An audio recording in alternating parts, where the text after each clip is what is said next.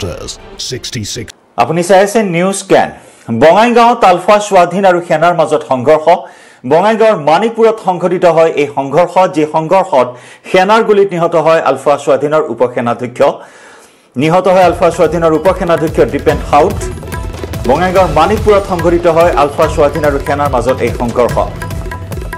দৃষ্টি ৰাজখোৱাৰ স্থানত স্থলাভিষিক্ত কৰা হৈছিল দীপেন সাউদক। সেনাৰ হাতত বন্দী হয় আন এজন আলফা স্বাধীনৰ কেডাৰ ধৃত আলফা স্বাধীনৰ সদস্যজনৰ নাম পদুম ৰায়। ঘটনাস্থলীৰ পৰা উদ্ধাৰ কৰা হৈছে দুটা পিষ্টল আৰু গ্ৰেনেড। পুৱতি নিশা সেনাই আলফা স্বাধীনৰ দুই সদস্যৰ বিৰুদ্ধে চলাইছিল অভিযান। নিশা মানিকপুৰৰ বেচিমাৰীৰ এঘৰত আশ্ৰয় লৈছিল দুই আলফা স্বাধীনৰ সদস্যই। আলফা স্বাধীনৰ সদস্যক আশ্ৰয় দিয়া ঘৰটোৰ গৰাকীকো ইতিমধ্যে আটক কৰা হৈছে। ঘৰটোৰ গৰাকী কিশোৰ ৰায়ক আটক কৰা হৈছে। সোধা পোছাৰ বাবে আটক কৰা হয় ঘৰটোৰ গৰাকী কিশোৰ ৰায়ক। বঙাইগাঁৱৰ মানিকপুৰত পুৱতি নিশা সেনাই আলফা স্বাধীনৰ দুই সদস্যৰ বিৰুদ্ধে চলাইছিল অভিযান। এই অভিযানত সেনাৰ গুলীত নিহত হয় আলফা স্বাধীনৰ উপসেনাধ্যক্ষ দীপেন সাউদ আৰু সেনাৰ হাতত বন্দী হয় আলফা স্বাধীনৰ আন এজন কেডাৰ পদুম ৰায়। পুৱতি নিশা সেনাই আলফা স্বাধীনৰ এই দুই সদস্যৰ বিৰুদ্ধে চলাইছিল অভিযান। নিশা মানিকপুৰৰ বেচিমাৰীৰ এঘৰ লোকৰ ঘৰত আশ্ৰয় লৈছিল দুই আলফা স্বাধীনৰ সদস্যই আৰু এই খবৰ লাভ কৰিছিল। বিশেষ সূত্ৰৰ পৰা লাভ কৰা খবৰৰ ভিত্তিত চলাইছিল এই অভিযান। বঙাইগাঁও জিলাৰ কিছুমান ঠাইত কিছুমান উগ্ৰপন্থামূলক কাৰ্যকলাপ চলি আছে আৰু কিছুমান এক্সটৰ্চন নটিচ পাইছে কিছুমান মানুহে। আৰু ক'ৰবাত ক'ৰবাত টকা কালেকশ্যনো হৈছে বুলি আমি শুনিছিলোঁ। আৰু কালি এটা গোপন সূত্ৰৰ প্ৰমুখেদি বঙাইগাঁও আৰক্ষীয়ে আহ, এটা অপাৰেশ্যন চলায়। সেই অপাৰেশ্যনত আমি এতিয়া ভেৰিফাই কৰি আছোঁ এটা এনকাউণ্টাৰ হয়। পুলি পুলিচলৈ পুলিচ বাহিনী যেতিয়া গৈছে তাত বেচিমাৰীত তেতিয়া পুলিচলৈ লক্ষ্য কৰি গুলী চলায়। তাতে বাঁহৰ পাতি থকা উগ্ৰপন্থীয়ে আৰু তাৰ প্ৰত্যুত্তৰত পুলিচেও গুলী চলায়। সেই অৱস্থাত এজনক দুজনক জীৱনতে ধৰা হৈছে আৰু এজন ক্ৰিটিকেলি ইনজিঅ'ৰ হৈছে তেওঁক চিভিল হস্পিটেললৈ পঠোৱা হৈছে। অস্ত্ৰ শস্ত্ৰ দুটা পিষ্টল এটা দুটা পিষ্টল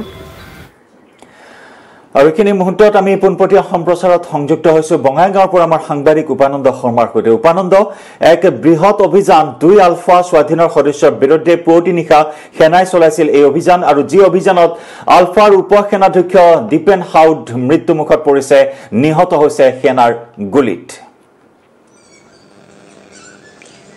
হয় জয়ন্ত আজি পুৱতি নিশা এই ঘটনা সংঘটিত হয় আৰু আমি জানিব পাৰিছোঁ যে নিশাৰ ভাগত বৃহৎ আৰক্ষী দলে মোৰ পিছফালে থকা এই বাসগৃহটো ঘেৰি পেলাইছিল আৰু মানিকপুৰ থানাৰ অন্তৰ্গত এয়া বেচিমাৰীৰ এই কিশোৰ ৰায়ৰ ঘৰ আৰু ইয়াতে দুজনীয়া আলফা সদস্যই বাহৰ পাতিছিল বুলি আৰক্ষীক খবৰ লাভ কৰে আৰু সেই খবৰৰ ভিত্তিত আৰক্ষীয়ে ইয়াতে নিশাৰ ভাগত আহি এই সমগ্ৰ ঘৰটো ঘেৰি পেলাইছিল আৰু পুৱা পোহৰ হোৱাৰ লগে লগে তেওঁলোকক কোৱা হৈছিলে যে তেওঁলোক আৰক্ষীৰ বেহুৰ মাজত আছে তেওঁলোকে আত্মসমৰ্পণ কৰিব লাগে। আৰক্ষী কোৱা মতে তেওঁলোকে গুলীচালনা কৰিছিলে আৰু ইয়াৰ প্ৰত্যুত্তৰ দিয়াত দীপেন হাউদ দুৰ্ধৰ্ষ আলফা সদস্যগৰাকী নিহত হোৱা বুলি কোৱা হৈছে। আৰু ইতিমধ্যে এজন পদুম ৰায় তামোলপুৰত ঘৰ আলফা সদস্য তেখেতক গ্ৰেপ্তাৰ কৰিবলৈ সক্ষম হৈছে আৰু ইয়াৰ লগতে গৃহস্থ কিশোৰ ৰায়ক ইতিমধ্যে আৰক্ষীয়ে গ্ৰেপ্তাৰ কৰিছে। কিশোৰ ৰায় পিলপিলি চালক আছিলে। এই ঘৰৰ গৃহস্থ হিচাপে তেওঁক আটক কৰিছে আৰু সোধপোছ কৰিছে। আৰু এটা কথা ক'ব লাগিব যে দীপেন হাউদ নামনি অসমৰ এগৰাকী আলফা স্বাধীনৰ জ্যেষ্ঠ নেতা। দুহেজাৰ দহ চনত তেওঁ যি আলফাৰ মাজলৈ আহিছিলে অৰবিন্দ ৰাজখোৱাৰ নেতৃত্বত সেই সময়ত চৰ্চালৈ আহিছিলে যে তেওঁ আলোচনাপন্থী আলফালৈ আহিব সেই গোটত আহিব। কিন্তু পৰৱৰ্তী সময়ত তেওঁ নাহিলে।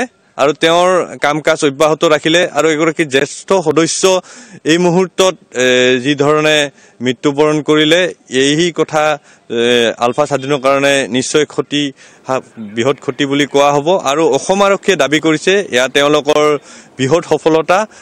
এই মুহূৰ্তত কিন্তু একাংশই কৈছে যে দীপেন হাউদ দুৰ্ধৰ্ষ আলফা সদস্যজনৰ আচলতে আৰক্ষীৰ গুলীত নিহত হোৱা নাই।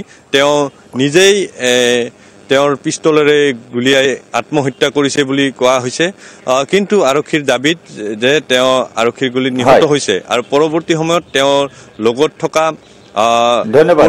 উপানন্দ উপানন্দ শৰ্মা ধন্যবাদ জ্ঞাপন কৰিছো আপোনাক এইখিনি মুহূৰ্তত। আৰু বৃহৎ সফলতা লাভ কৰিছে সেনাৰ এই অভিযানত আৰু সেনাই বিশেষ সূত্ৰ পম খেদি চলাইছিল এই অভিযান পুৱতি নিশা চলাইছিল অভিযান। আৰু আলফা স্বাধীনৰ দুই সদস্যই গুলীবৰ্ষণ কৰাত প্ৰত্যুত্তৰ দিছিল সেনাই আৰু সেনাৰ প্ৰত্যুত্তৰত অৰ্থাৎ সেনাৰ গুলীবৰ্ষণত নিহত হয় আলফা স্বাধীনৰ উপসেনাধ্যক্ষ দীপেন সাউদ